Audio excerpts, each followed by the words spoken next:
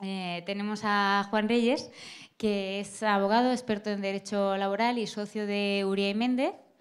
Em, tenemos a Salvador Duarte, que es presidente de la Confederación de Trabajadores Autónomos de Cataluña y sabe muy bien de lo que habla de estos temas y nos interesa mucho hacer muchas preguntas. Eh, tenemos a Jaume Baró, director de operaciones de Barcelona Activa, si no me equivoco y a Jordi Serrano, que, ya lo conocéis, y que es socio de una pequeña parte de Nubelo, que, ha hablado antes de ella, una plataforma eh, para freelancers eh, on demand. Entonces, bueno, yo os voy a mm, pedir que, que me deis vuestra visión de cómo veis ese futuro, la verdad es que no sé a cuántos años plantearlo, porque las cosas cambian tan rápido que a lo mejor si pongo muchos años ya estamos mm, pensando demasiado largo, ¿no? Entonces, decid vosotros, pues en tantos años mm, veo que las cosas van a estar eh, de esta manera, o cuáles van a ser los trabajos, o si realmente vamos a vivir del empleo, vamos a trabajar menos horas y vamos a vivir de varios tipos de cosas. ¿Qué, pensáis? Venga, empezamos por orden. Venga, empiezo yo. Bueno, eh, primero agradecer la invitación, me ha encantado la, tu ponencia. Eh, voy a ir a lo cómodo, que es que coincido en gran parte con lo que dices. Eh, parece bueno, que algo muy de película, de ciencia ficción, pero es que ya lo estamos viendo. en la parte que me concierne desde el punto de vista legal, a pesar de la mala fama que tenemos, ¿no? de que la ley y todo el sector digamos, legal va siempre un pasito por detrás, bueno, yo creo que no siempre es así, pero en lo que se refiere, digamos, a, bueno, la, tendencia hacia el mercado, desde mi punto de vista, creo que hay realidades que son innegables, es decir, bueno, pues conceptos como eh, teletrabajo ya se ha implantado, el concepto mismo de centro de trabajo parece que va a acabar desapareciendo, ¿no? es decir, algo que, bueno, pues que ya eh, pierde un poco el sentido, ¿no? cada vez más, ¿no? esta flexibilidad en el trabajo. Entonces eso yo creo que es una certeza, eso no creo que es, eh, es una predicción un poco arriesgada. ¿no? Ahora, eh, ¿hasta qué punto no es eh, ya conclusión fatal, de ahí mi discrepancia, ¿no? de, ¿desaparece el trabajo? Creo que no. Yo creo que la humanidad ha demostrado que a medida que ha evolucionando, ¿no? pues, bueno, pues que siempre han aparecido nuevas ocupaciones, nuevas necesidades y que en ese contexto pues seguro ¿no? que el ser humano va a ser capaz de encontrar nuevas utilidades y seguir encontrando un sentido ¿no? a la prestación de servicios, al trabajo. Una persona, perdón que, te interrumpa, Salvador, antes de que empieces a hablar, eh, en una de las ponencias estos días que, comentaba que, bueno, que eso de que desaparezcan los centros de trabajo tampoco estaba tan claro, que la gente también estaba ya harta de trabajar en su casa, ¿no? los freelancers, que estaban yendo cada vez más a espacios de coworking y todo esto. ¿no? Entonces, a lo mejor, en vez de ser centros de trabajo puramente de una empresa, pues a lo mejor pueden compartir espacios de coworking o tal, pero igual centros en sí no... Perdón, ¿eh? No voy a ser menos educado, yo también voy a agradecer la, invitación. Eh, en todo caso, mm, yo parto de una premisa. Yo no es que sea polemista, pero me gusta polemizar. Por tanto, yo creo que no estamos inventando nada nuevo. Es decir, yo creo que lo que estamos viendo no, no deja de ser una evolución, no como, digamos, a la vieja usanza, sino es una evolución que efectivamente se está produciendo de una manera muy acelerada, en un contexto, sobre todo, muy digital, pero no deja de ser al final un cambio.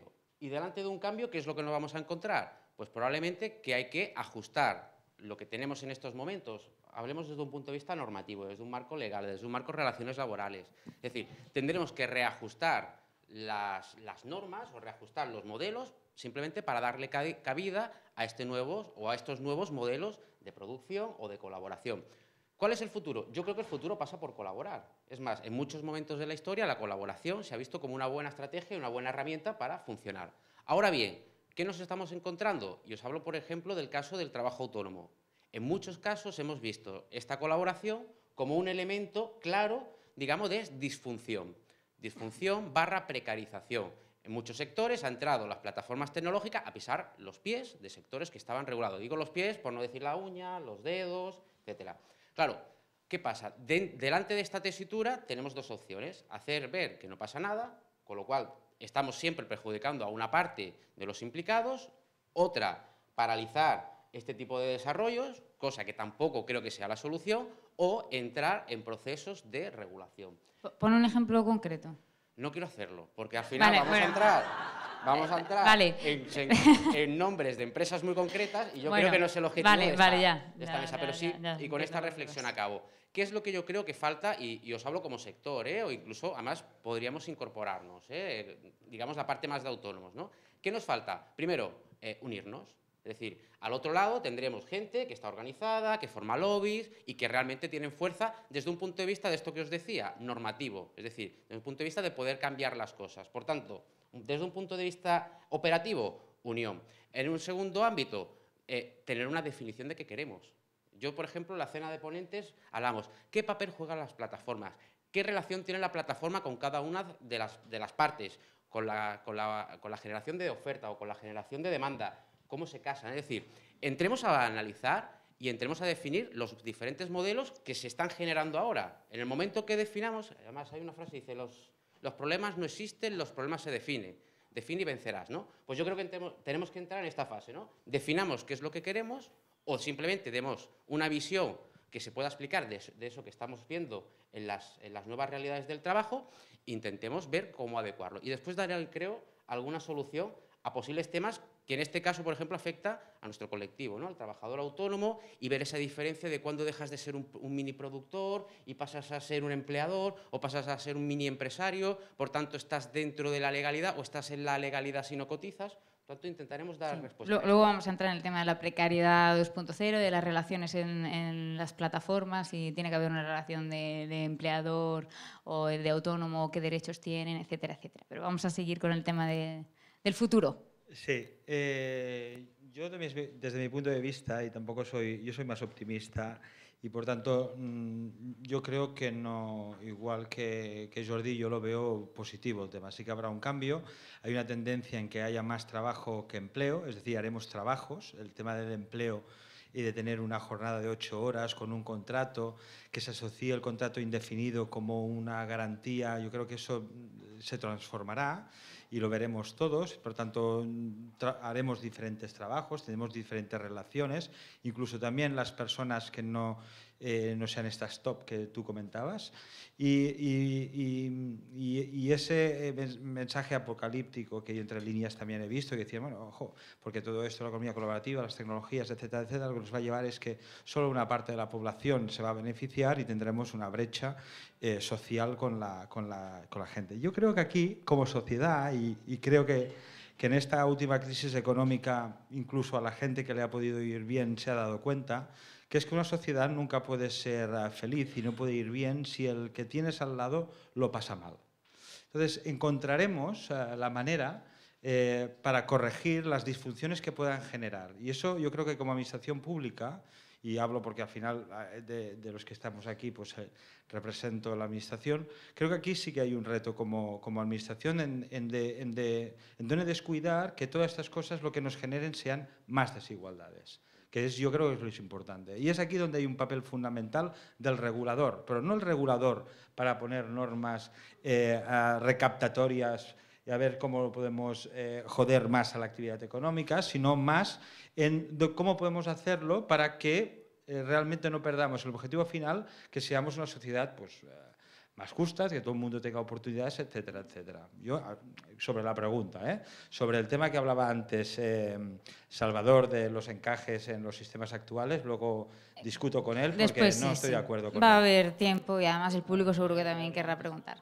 Eh, Jordi, no sé si quieres aportar algo más eh, a este debate. Vale, bueno, entonces sí, es verdad que, ha introducido Salvador el tema pues, de la precariedad. estamos aquí con los micros.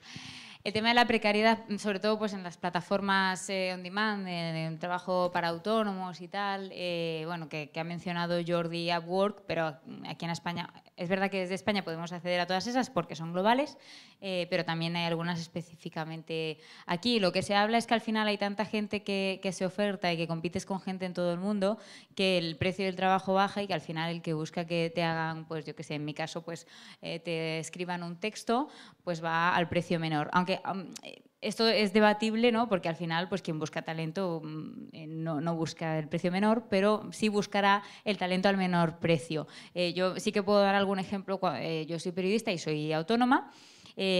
Nunca he trabajado a través de una de estas plataformas, pero sí que es verdad que cuando, cuando me establecí como freelance, investigué un poco, ¿no? Y me metí en una de estas estadounidenses, creo que era freelancer, y veía que se ofrecían trabajos de redacción de textos a dos dólares la hora, o sea, menos de, de dos euros. A mí esto me parece eh, una perversión eh, inaudita, vamos, tremendo. Pero sí que es verdad que también hay muchas cosas buenas, obviamente, ¿no? Entonces, me gustaría que cada uno aportara su visión eh, buena, mala, que, que, de verdad es tan precario, qué aporta que sea positivo. si queréis, seguimos. Bueno, venga, Jordi, ya que no. Para romper un poco, porque veo que he quedado como el pesimista, ¿no? vamos a ver si lo puedo corregir. claro, el, el, el si es mejor o peor depende desde donde lo miras. ¿no? Yo para eh, el libro que hice entrevisté a una persona de Bolivia. ¿no? Y esta persona de Bolivia había pasado de poder vender sus, servicios de programador, etcétera, a, su entorno a dos dólares la hora, a venderlos para Alemania y Barcelona a un, a un nivel brutal. ¿no? Entonces, la mayoría del mundo no somos nosotros, ¿eh? la mayoría del mundo son los otros. Y eh, hay una cierta rebalanceo que, este tipo de plataformas también ayudan. Cuando, cuando dices lo de unirnos y tal, yo pienso en los 700.000 o los 7 millones de personas que hay en esas plataformas que son de Bangladesh, de Canadá, de tal, y conseguir que esa gente se una pero que según especificarlo porque creo que no se ha producido el debate. ¿eh? pero estoy de acuerdo en cosas Pero, digamos, el bueno o el malo depende desde dónde lo miras. Si quieres, Salvador, por, por alusiones. Yo encantado, ¿eh? no. Si no le hace falta, si le ha dicho que le gusta polemizar. Vamos a ver, yo mm, parto de... Yo también vengo del ámbito laboral, ¿eh? Parto de una idea. ¿Qué me dice la ley? Yo soy una persona y en el momento que facturo el primer euro, tengo que estar dentro del sistema. ¿De acuerdo? Y puedo generar un euro vendiendo algo que he hecho de manera artesanal, haciendo un servicio o poniendo a disposición de otros algo. ¿De acuerdo? ¿Qué me dice la ley? A partir del primer euro, yo tendré que estar al corriente de mis obligaciones. Y tengo dos ámbitos, ámbito de seguridad social y ámbito de hacienda. ¿Verdad o mentira? Esto lo pagamos todos. Y entonces, ¿Qué es lo que se ha hecho estos años? Intentar hacer que el nivel de acceso baje ¿vale? para aquellas actividades, sobre todo, que son, bueno, digamos, de escasa rentabilidad. Bueno, esto se ha hecho. Segundo lugar, ¿qué, estamos viendo? Que aquellos que están cumpliendo estas obligaciones están claramente en inferioridad de aquellos que, por ejemplo, no lo, no lo están haciendo. ¿Por qué? Porque utilizan, para, desde mi punto de vista, ¿eh? otros mecanismos dígale, tecnológicos, dígale de otras características que permiten eludir este tipo, digamos, de relaciones, porque la relación, en vez de establecerse entre empresa y persona, se establece entre dos personas individuales, por tanto, estamos eliminando elementos que son esenciales, entre otras cosas, para lo que decía Jauma, que es para eh, redistribuir la riqueza y hacer que desde la, en este caso desde las administraciones, se pueda luchar contra las desigualdades y hacer que el nivel dentro del sistema sea digamos, más o menos, eh, digamos, equiparable. ¿Por qué decía yo lo de la plataforma? Es decir, estamos siempre en un sistema en el que la tendencia es a buscar relaciones laborales. Relaciones laborales de una empresa. De hecho, antes de empezar esta conferencia hablábamos de sentencias que hemos visto como, curiosamente, incluso cuando se están difuminando cada vez más las relaciones laborales, finalmente incluso los jueces acaban intentando buscarla. ¿no? ¿Por qué? Porque al final somos un sistema que intenta, sobre todo en el ámbito europeo, proteger al trabajador. Y eso lo llamamos en nuestro ADN, es decir, la, legislación es pro laboro. ¿Qué os quiero decir con esto? Que al final, si no entramos en un sistema en el que podamos decir, vamos a definir dónde marcamos el límite.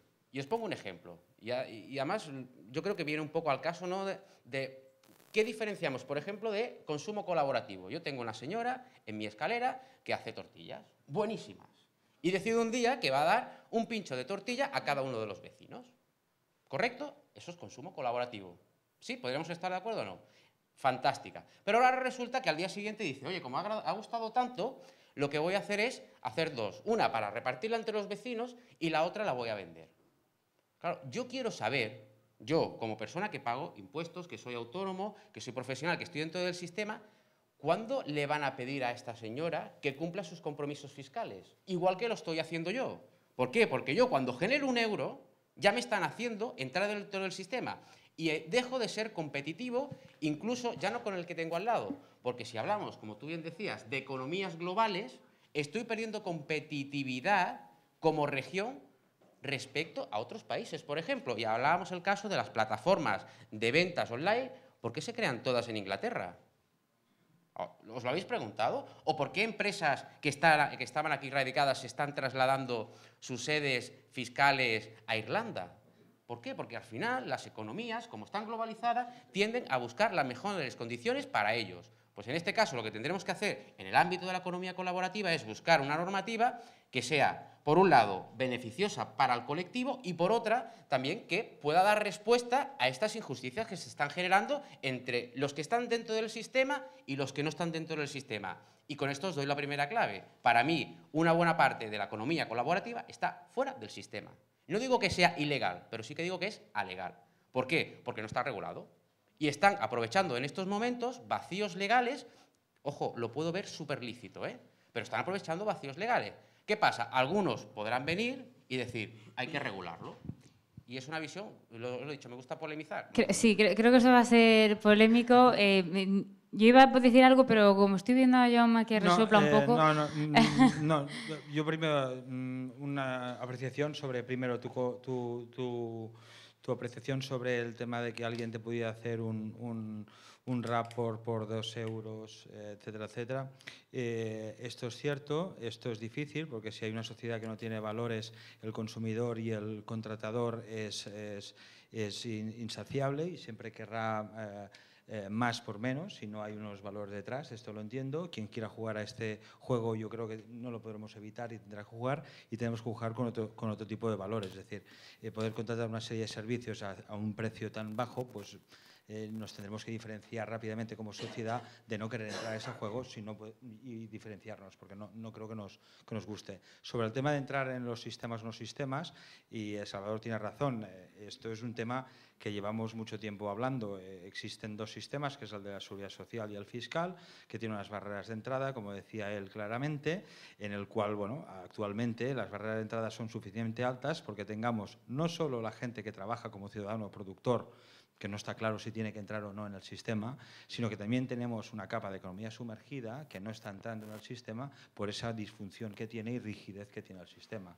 Estoy hablando, sabéis, que el régimen especial de trabajos autónomos actualmente supone más de 280 euros al mes de, de cuota y a nivel fiscal mm, no diría que es imposible, pero yo que llevo alguna contabilidad aún tengo que mirarme los manuales porque hacer un, 0, un 130 o un 303 del IVA pues empieza a ser, hostia, máster. ¿eh? Y entonces eh, el sistema no está preparado. El sistema no está preparado para, para que lo lleve incluso ahora mismo un autónomo. Ya no hablo de un ciudadano productor, hablo de un simple autónomo sin contrato, un peluquero en la Paseo San Juan, ¿de acuerdo? Que tiene, nada, una facturación de 30.000 o 40.000 euros. ¿Es verdad o no? A ver, los que son de letras ya lo entiendo, que aunque sea muy fácil, no lo vais a entender nunca porque las sumas y las restas siempre son difíciles. Pero ahora eh, me llamó mi hermana y me dice, Jaume, por todos horas, ¿eh? Home, jo sóc llicenciada en Belles Arts, sí que sóc de Belles Arts, però, hòstia, ¿qué significa todo esto? Digo, bienvenida al mundo de los autónomos.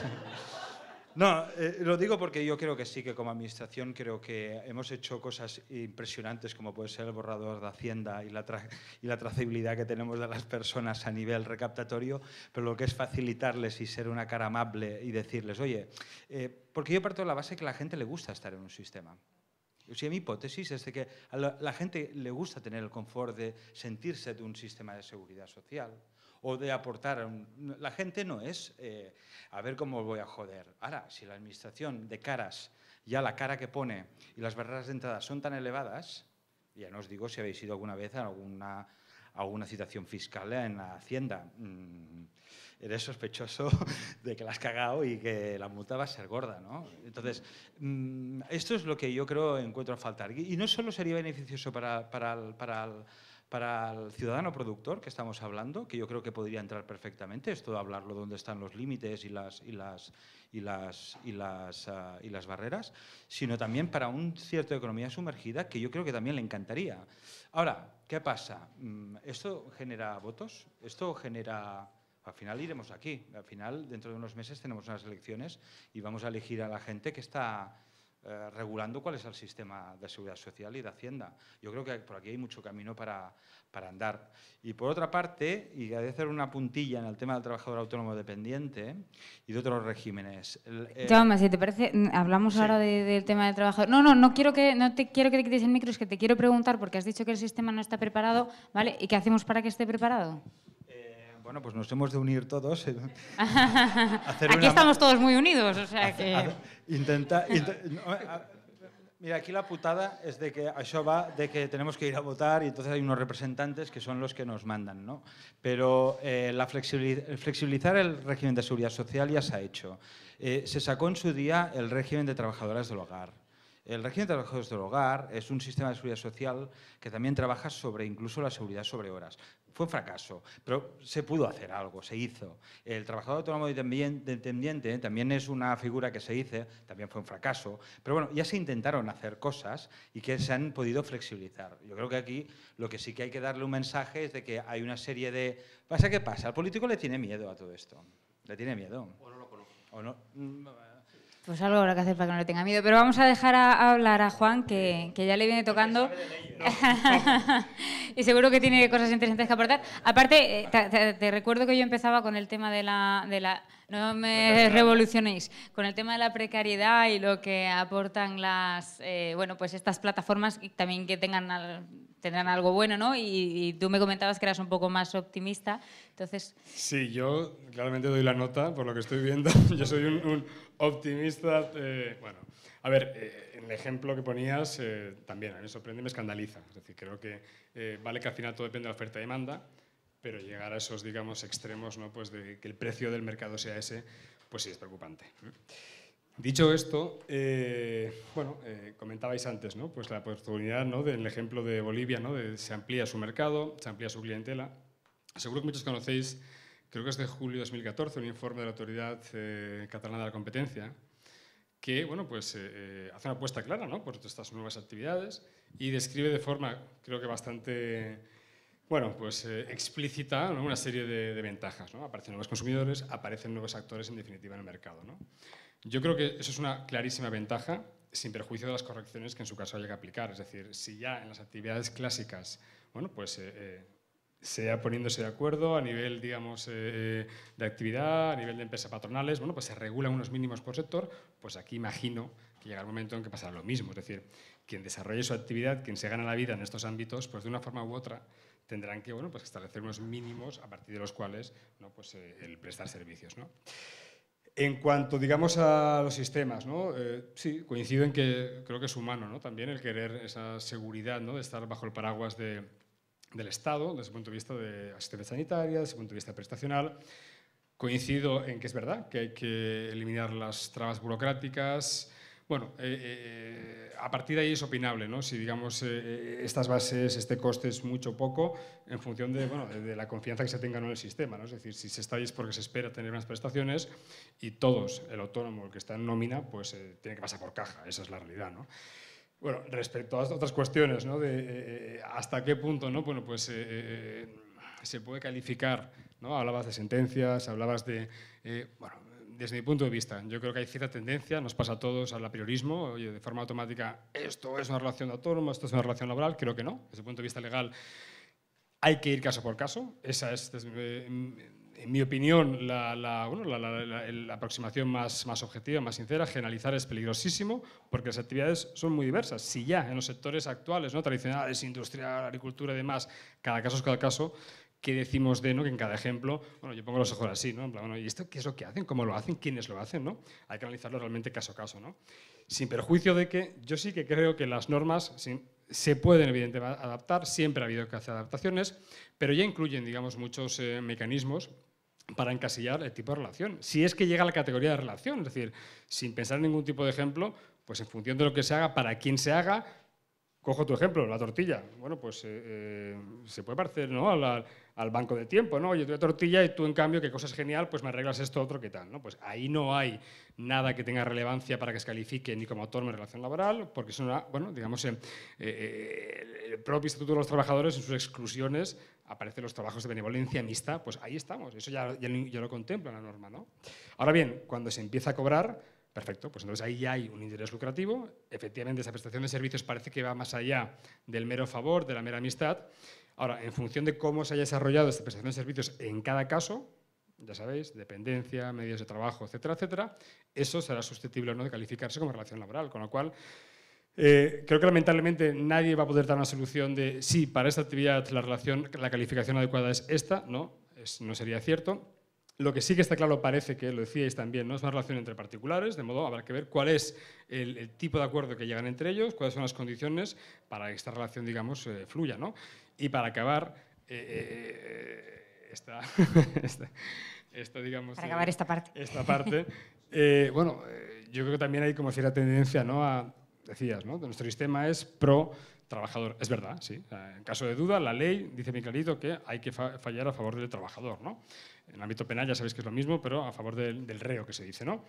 Claro, lo que sucede es que eh, parece ser que ya no solo desde el punto de vista de la empresa, sino también desde el punto de vista de los individuos que desarrollan estas actividades, hay cierta preferencia, en algunos casos, no en el ejemplo que ponías, pero en algunos casos, en los que se quiere huir de sistemas clásicos laborales precisamente por su rigidez. Es decir, eh, parece que cada vez más se detecta que la gente busca la flexibilidad por mil razones. Por conciliar, porque le apetece disfrutar del tiempo, porque se organiza mejor, porque le permite conocer diferentes eh, sectores, diferentes ámbitos. Con lo cual, yo creo que eh, tal vez hay que poner un poquito en valor la figura del autónomo. se presta bueno, pues a mayor, digamos, bueno, eh, flexibilidad, mayor digamos, margen de, a la hora de establecer las condiciones, precio para cuando lo quieres, como lo quieres, es decir, eh, es mucho más amplio que el, que el, ámbito laboral, que es mucho más, digamos, más rígido. ¿no?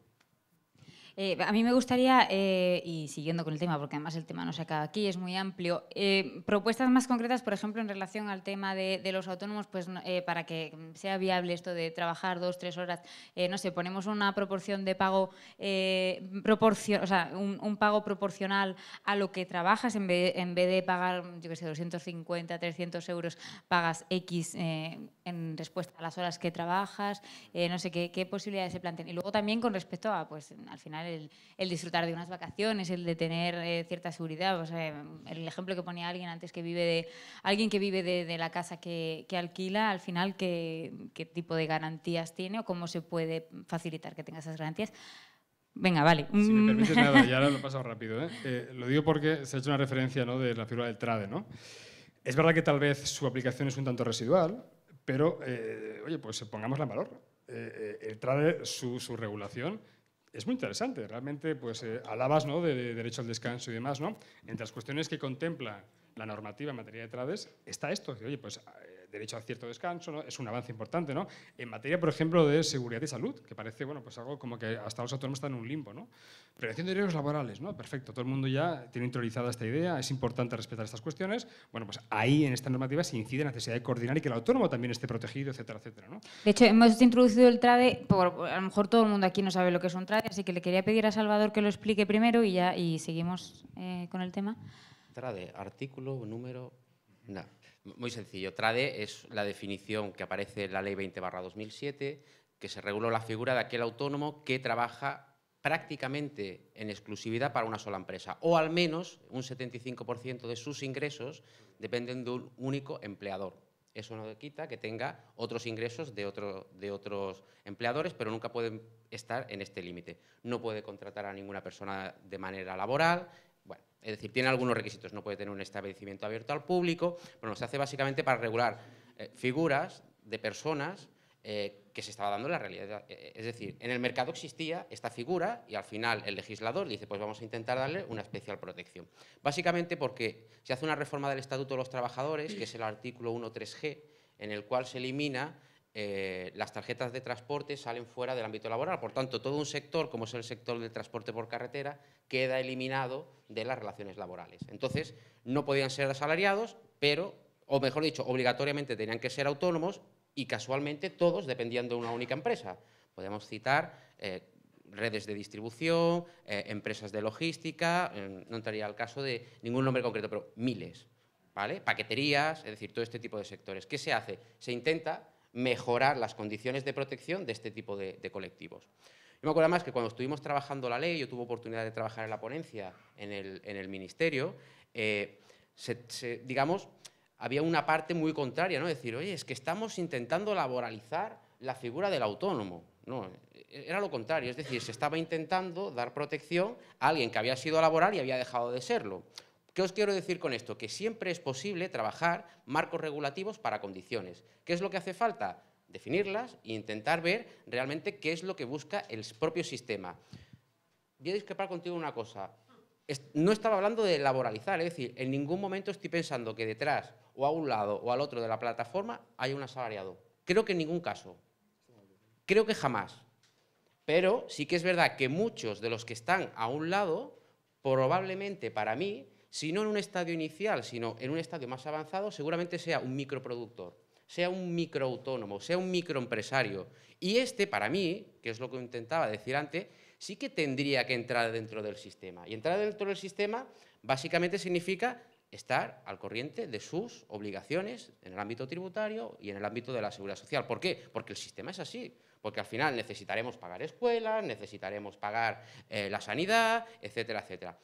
Solamente quiero hacer una puntualización y con eso acabo. Hablabas de cómo tendríamos que hacerlo, esta equiparación. La carta a los Reyes Magos de, por ejemplo, mm, ponte una persona que me, es que ahora mismo la situación pues es, bueno, es diferente en España, pero eh, yo estoy pensando en quien, y pongo, pongo el ejemplo de las casas otra vez, que tú compartes tu casa y tienes que darte de alta como autónomo y completar una serie de papeles y un montón de burocracia, tal y cual, no sé qué, que, cómo, ¿cómo facilitamos eso? O, bueno, y, y todo lo demás, ¿no? Pero también eso. En primer lugar, creo que tendría que hacerse una regulación que fuese equiparable, equiparable como mínimo a todos los países del ámbito europeo. Es decir, que no, no entrásemos en discriminaciones de si estoy en Francia es de una manera, si salta el modelo de negocio. Porque claro, es que con la plataforma tecnológica o con los móviles eh, lo puedes implementar ese tipo de negocio en cualquier parte del mundo. Ya no, ya no hablo de países. Por tanto, desde mi punto de vista, como mínimo en el ámbito europeo, se tendría que hacer una regulación que fuese más o menos equiparable. Por tanto, en primer lugar, impliquemos a la Unión Europea en este tipo de conversaciones, cosa que me parece además que tiene hasta mucho sentido. Segundo lugar, figuras. Ya existen figuras. Tenemos figuras en nuestro ordenamiento jurídico, mejor dicho, no están por ordenamiento jurídico, sino que están por sentencias, por tanto, nos tendríamos que ir al ámbito de la jurisprudencia, por, lo cual, por el cual hay figuras como algo como el mínimo exento. ¿El mínimo exento qué es? Es aquello que nos dice que una persona que realice una actividad económica pero no lo haga de manera habitual y no facture más del mínimo del salario interprofesional en cómputo anual, no tendrá que darse de alta de autónomos. Hostia, no está la normativa, pero está por jurisprudencia.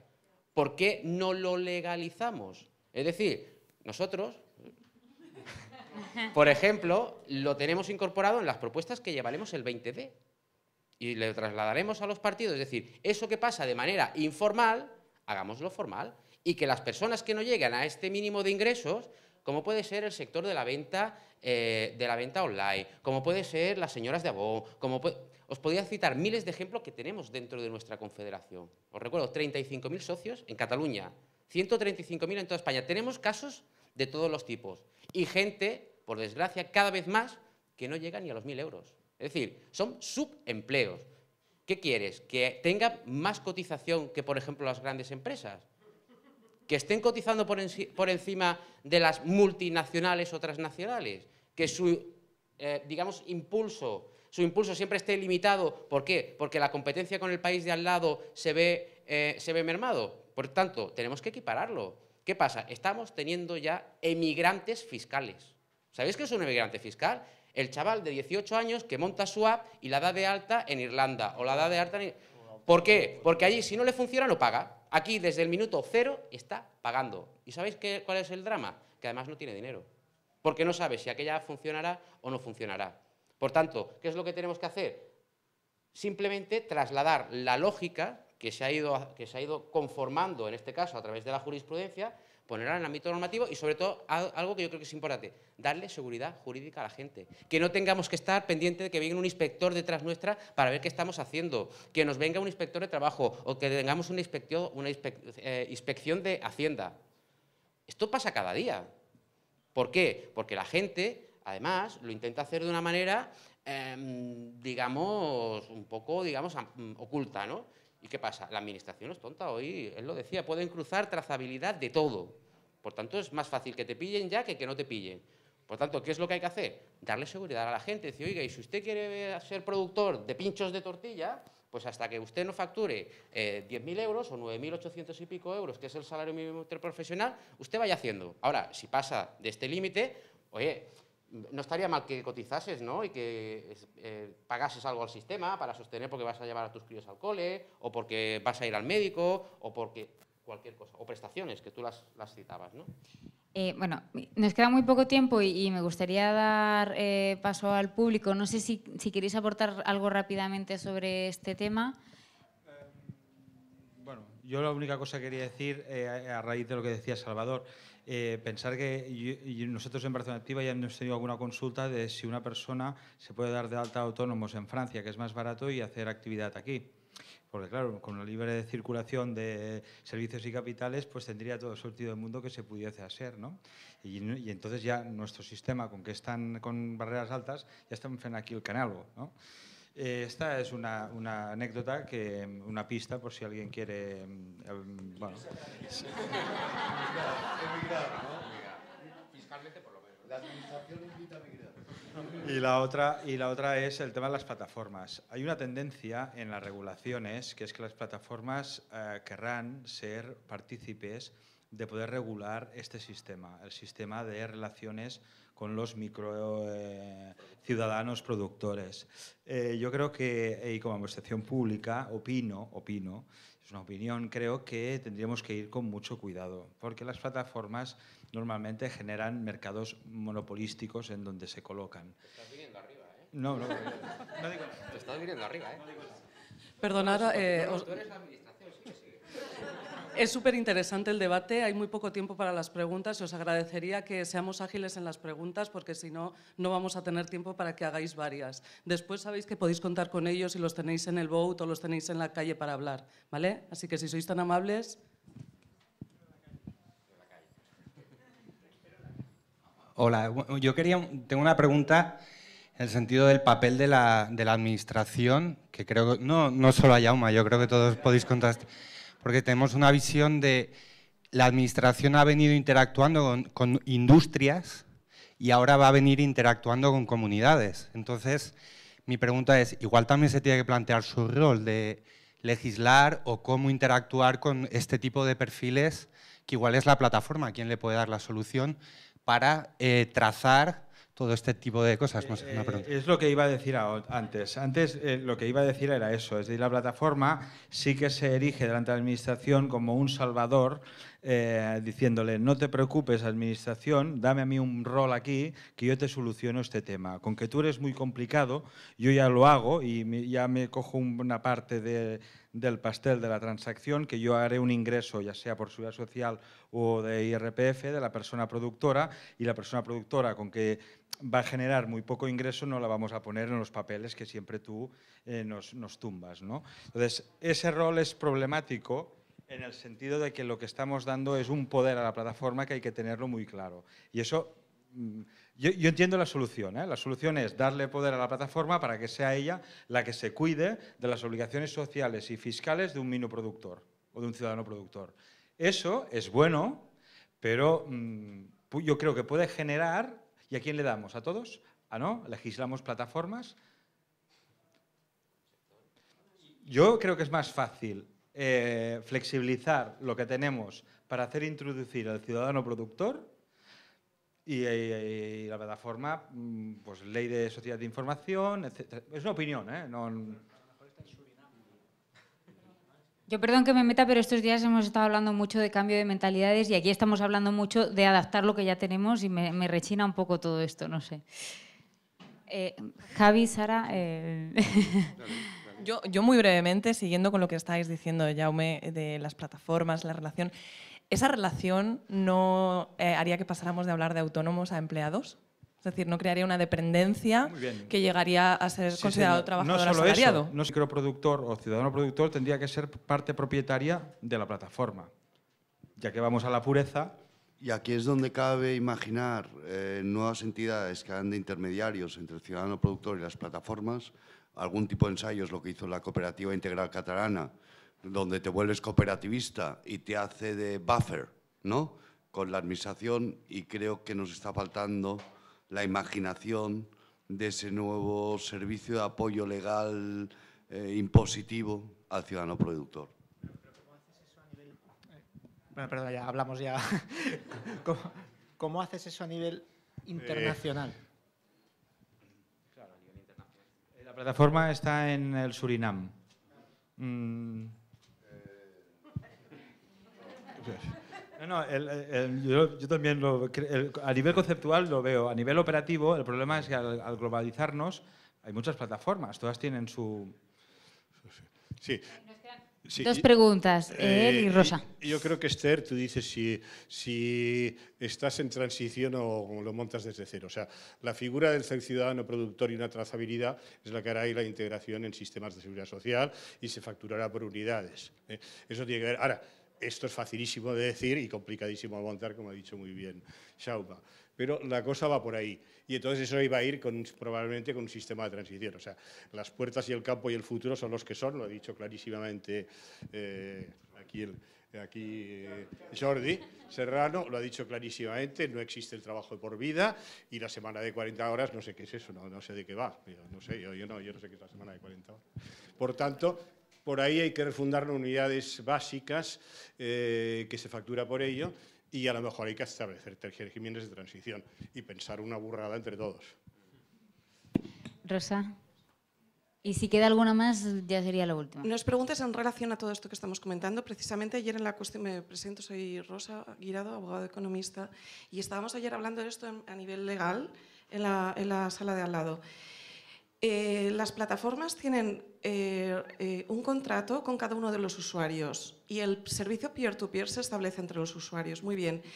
Eh, en la OCU se está hac- haciendo un estudio a nivel europeo. Hemos hecho el análisis legal de todas las plataformas a nivel europeo, tanto en España como en distintos países. Y es muy interesante como en algunas plataformas a nivel legal lo que dicen es que se están recogiendo los ingresos en nombre y por cuenta del usuario. Luego, aunque realmente aquí el contrato de la plataforma, que yo ayer incidía muchísimo, o sea que parece que me estoy desdiciendo, el contrato entre la plataforma y el usuario es un contrato simplemente de e-service y por lo tanto no están obligados a prestar ninguna responsabilidad en cuanto al peer-to-peer service, ojo, sí que se podría erigir en ese contrato estar asumiéndolo en nombre y por cuenta del usuario y tenéis ahí ya esa figura que os interesa para poder estar recogiendo en nombre y por cuenta del usuario ese, ese ingreso y, y poder salvar toda la burocracia al usuario. Porque, ojo, es que la señora María esa, yo sé el que le pongo nombres a las, a las señoras. Ayer decía la señora Puri, pues hoy digo, la señora María de la, de la sí, sí, y corto, de la, de la escalera, ojo, no, no tiene ánimo de lucro, no estoy de acuerdo ahí a nivel jurídico llamarle ánimo de lucro, no tiene lucro, tiene una compensación de gastos que hasta que sea lucro ni siquiera tendríamos que hablar de microproductor. Entonces, quitarle toda esa burocracia a alguien que ni siquiera es microproductor. Es alguien colaborativo, que para eso estamos aquí. Bueno, nada. Bueno, gracias Rosa por la aportación. Me dicen que tenemos que cerrar ya, que nos hemos comido el tiempo. Eh, me imagino que mm, ya nos parece bien y si no, pues nos tenemos que aguantar. gracias.